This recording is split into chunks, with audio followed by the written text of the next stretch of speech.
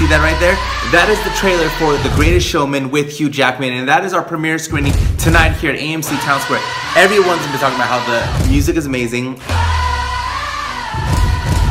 It's from the same people as La La Land, which was my favorite movie of last year of 2017. And this movie's been a passion project for Hugh Jackman because he's talked about how he's been wanting to make this movie and here it is finally, the true story of P.T. Barnum. So don't forget, if you want to come tonight with myself and ChasingCinema.com, it's gonna be AMC Town Square at 10 o'clock. Make sure you meet me there. 9.30, we're gonna get you in, get seated, get your popcorn, get your chicken fingers, get your curly fries, get your butter, get your soda, get all the stuff you need because it's gonna be a lot of fun tonight at AMC Town Square for the premiere screening of the Greatest Showman. So tell me, do you wanna go?